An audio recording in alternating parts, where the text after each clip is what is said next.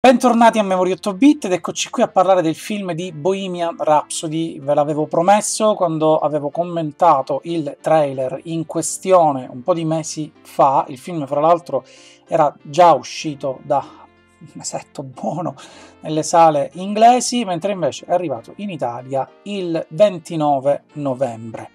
E io l'ho atteso tantissimo perché tutti quelli che sono appassionati come me dei Queen, quindi sono la mia più grande passione in assoluto, nonostante sia una tipologia di video che io non tratto solitamente qui sul canale, ma ne riapprofitto per chiedervi, vi va che io faccia dei video del genere? Mi piacerebbe tantissimo fare dei video su ogni singolo album dei Queen.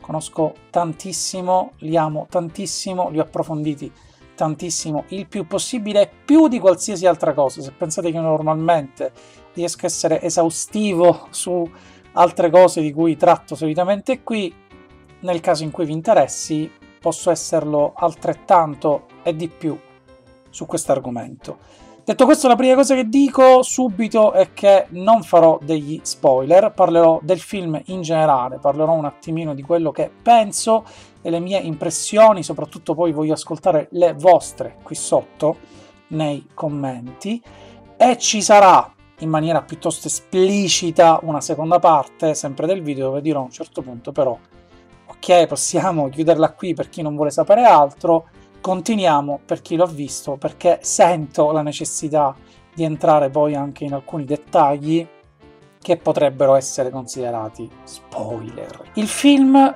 come dicevo, è stato atteso per eh, tantissimo tempo. Ha avuto una lavorazione a dir poco travagliata. Il tutto seguito da Brian May e Roger Taylor, quindi i due diciamo superstiti attivi dei Queen perché John Deacon ha deciso di ritirarsi da molto tempo ormai dalle scene.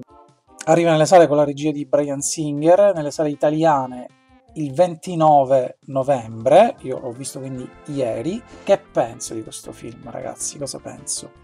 È un film strano, è basato principalmente su quello che la gente sa. È un film su Freddie Mercury. Non inizia nel modo in cui si capisce questo. Sembra all'inizio un film sui Queen, io lo sapevo che era un film su Freddie Mercury, però comunque all'inizio mi sono stupito, ho detto, oh guarda, quindi in effetti forse è un film praticamente sui Queen, solo che lo fa in una maniera piuttosto veloce. Vi dico fin da subito quello che, che, penso in linea generale, cioè che la prima parte rispetto alla seconda, proprio quando c'è stato lo stacco tra il primo e il secondo tempo, sembrano scritti, e diretti e fatti da due persone completamente diverse. Ha un ritmo narrativo veramente sbagliato nella prima parte, tanto quanto poi invece riesce ad aggiustare il tiro nella seconda. La prima parte succede tutto immediatamente, ma immediatamente vi dico nei primi 5 minuti. Io ho cercato di darmi dei parametri musicali di film che nel tempo si sono, eh, sono diciamo, risultati essere vincenti o comunque sono rimasti nella memoria. Sono pochissimi film musicali biografici che sono dedicati quindi a cantanti, a figure esistenti che hanno poi veramente funzionato come prodotto cinematografico. Questo è un film, non è un documentario, dobbiamo ricordare anzitutto questo. I parametri che mi ero dato sono il film sui Doors, che poi alla fine è un film su Jim Morrison, e il film dei Blues Brothers. Due film completamente diversi, perché il film dei Blues Brothers anzitutto non è una figura reale, loro esistevano come band, ma ovviamente erano già una band finta anche quando esistevano, e racconta con questa trama piuttosto sgangherata il fatto che debbano raccogliere i soldi per salvare l'orfanotrofio, quindi c'è questa prima parte in cui vengono raccontati i personaggi e che devono riuscire a reclutare poi gli altri per riuscire a fare questo concerto e raccogliere i soldi. Il film sui Doors, che è un film su Jim Morrison, così tanto su Jim Morrison che inizia con un flashback di lui ragazzino, per poi tornare spesso anche su questa cosa, per poi quindi concentrarsi principalmente sulla sua figura e sulle cose che gli accadono intorno, tra cui anche i Doors. Quindi quello fallisce come film sui Doors, ma è un grandissimo film su Jim Morrison e sulla sua figura, che non è preciso, non è documentaristico, anzi è molto sbagliato da tanti punti di vista, ma è un film perfetto perché riesce a essere un film. Accade questa cosa con Freddie Mercury in questo film? Sì. Il problema è che ci si confonde tra essere un film sui Queen e essere un film su Freddie Mercury. E dato che il titolo è ambiguo perché Bohemian Rhapsody non è quindi né Queen né Freddie Mercury, non è esplicitato anche se si sa che è un film su Freddie Mercury. Il punto è che inizia come se fosse un film sui Queen, perché di lui si racconta niente. Inizia subito, subito, siamo subito lì, subito li incontra, subito si mettono insieme. Questa cosa succede in 5 minuti?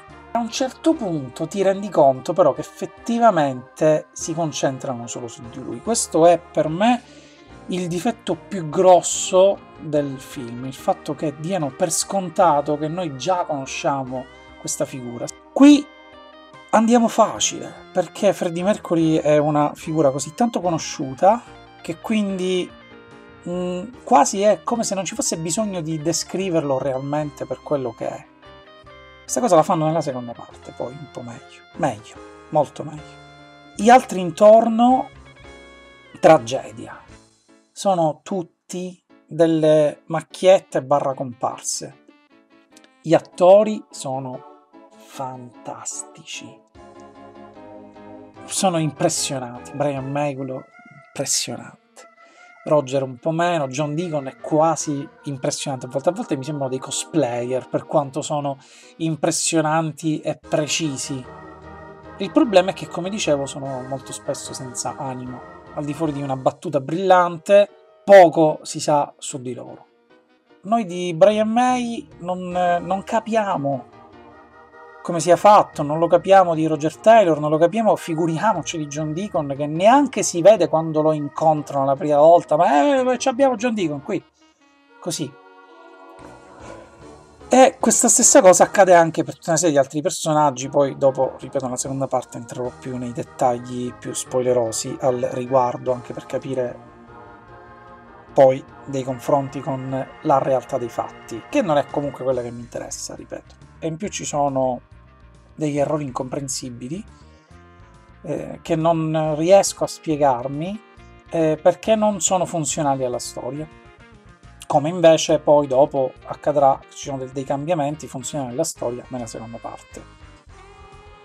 La seconda parte è molto più lenta, molto più concentrata sull'emotività del personaggio, sulla sua caratterizzazione. Freddie Mercury finalmente tira fuori delle cose che non sia soltanto essere antipaticissimo, perché secondo me per chi non lo conosce affatto e non ha mai sentito magari parlare di lui, esce fuori un'idea proprio di un antipatico esagerato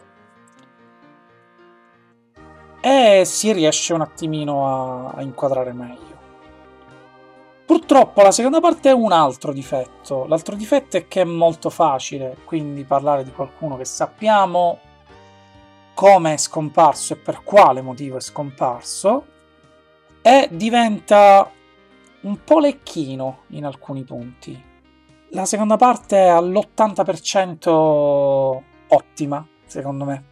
Questo film era meglio se avesse messo di più da parte i Queen, a quel punto si fosse concentrato unicamente ed esclusivamente su Freddie Mercury, come in realtà fa. Solo che ogni tanto sembra un film sui Queen. E sono le parti peggiori, sono proprio le parti più raffazzonate, le parti più veloci, le parti più sbagliate cronologicamente, storicamente, sono quelle che, che stai lì proprio a dire ma, ma e in più per uno che non li conosce sono le parti più veloci, sono le parti più dove si passa da una cosa all'altra immediatamente senza spiegartene. Ci sono due cose che se vuoi fare un film sui Queen avresti dovuto come minimo dire, quindi questo non è uno spoiler perché è una cosa storica vera e non c'è, e sono uno il fatto che i Queen non erano una band da stadio all'inizio, ma erano una band con, un, con una forma mentis musicale avevano una tipologia di suono, una tipologia di idea musicale, che poi era quella originaria, diciamo così, di Brian May e Roger Taylor, che non era portata a interessarsi del pubblico. Loro suonavano, non interagivano. Brian May per tutti gli anni 70 ha questa faccia quando suona. E basta. Fino a quando poi si rendono conto che il pubblico canta e decidono di fare poi gli inni, quindi We Rock You e We Are the Champions. E manca un'altra cosa importantissima, che il fatto è che Queen fino a Night di Opera, e il titolo del film è Bohemian Rhapsody, che all'interno di quest'album, erano letteralmente poveri, perché avevano un altro manager di cui non si fa minimamente riferimento in questa cosa. Questa è una cosa che potesse essere interessante. Per tre album non avevano praticamente guadagnato niente perché tutto il contratto era sbagliato. E anche se avevano avuto dei brani di un minimo successo, Killer Queen, Seven Seas of Rye, soprattutto Killer Queen, avevano pochi soldi. Questa cosa non esiste. Io quando ho letto le prime biografie di Queen, la parte più emozionante per me era quella, la loro evoluzione. Non c'è una evoluzione. C'è soltanto, poi capiamo, su Freddie Mercury. E per quello dico è strano, perché sembra un film sui Queen all'inizio e poi se lo dimentica. O meglio, poi si ricorda che è un film su Freddie Mercury. E per assurdo, quello che dico è, sarebbe stato meglio se avesse parlato meno dei Queen e si fosse concentrato solo sulla vita privata di Freddie Mercury, che è quello che fa bene, quello che fa meglio. E anche se ci sono degli errori lì, nella parte dedicata alla vita privata di Freddie, esce bene, l'attore ragazzi è bravissimo e la sua parte è scritta molto bene, a parte poi determinate inquadrature lecchine verso la fine. Vorrei sapere assolutamente da chi non conosce nulla dei Queen, se lo ha visto, cosa ne pensa. Sento il bisogno e la necessità di sapere cosa ne pensate perché è facile per uno a cui piacciono i Queen o in generale piace quel tipo di musica dire che è figata. Però secondo me dà troppe cose per scontate, dà troppo per scontato il fatto che Freddy è il grande animale da palcoscenico che sia e questa cosa in realtà non si vede la sua evoluzione. Freddy non era così all'inizio, ci provava ed era anche un po' maldestro nel farlo. E si deve vedere questa cosa. Freddy nelle sue prime band, di cui non si fa minimamente riferimento se vuoi fare un'evoluzione del personaggio, gli Ibex, i Wreckage, con gli Ibex, se sentite delle registrazioni intere dei loro concerti, non era così tanto bravo come poi diventa. Ed è bellissima questa cosa. Io adoro il fatto che Freddy si sia evoluto, sia migliorato con la sola forza della sua tenacia questa è la cosa bellissima per me di Freddie Mercury. E invece qui sembra che era già bravissimo, super bravo, super fico, arriva e fa tutto facilmente. E non è così, mi spiace dirlo. E il bello è proprio quello. Quella parte mi manca, mi manca l'entusiasmo iniziale, mi manca quella cosa alla Blues Brothers dove aspetti di vederli suonare, invece qua li vedi suonare dopo 10 minuti. Spoiler. Quindi da adesso in poi invece inizia la parte con i dettagli per chi lo ha visto o per chi semplicemente vuole farsi del male. Qua comincio a dirvi chiaramente gli errori che sono stati fatti e gli errori inutili che sono stati fatti. Lui nel film arriva, va a un concerto degli Smile, Tim Staffel se ne va e, e poi lui si presenta a loro e dice ah cercate qualcuno, cioè questo io scrivo canzoni, ah, abbiamo appena perso il cantante, ah, eccomi qua. Un pochino veloce questa cosa, quando invece nella realtà dei fatti loro già si conoscevano, già si conoscevano, avevano anche suonicchiato insieme in alcuni casi. E Freddy comunque è vero che gli stava dietro, Freddy gli stava dietro e voleva suonare con loro perché loro erano bravi, differenza Ibex e The Wreckage che insomma erano beh, un po' di livello un po' più scarsino. E sicuramente Freddy aveva una sua visione che per quella che ha realizzato, grazie alla sua tenacia, che ha fatto diventare vera, quando ancora non era chiarissimo quello che poteva essere il suo potenziale.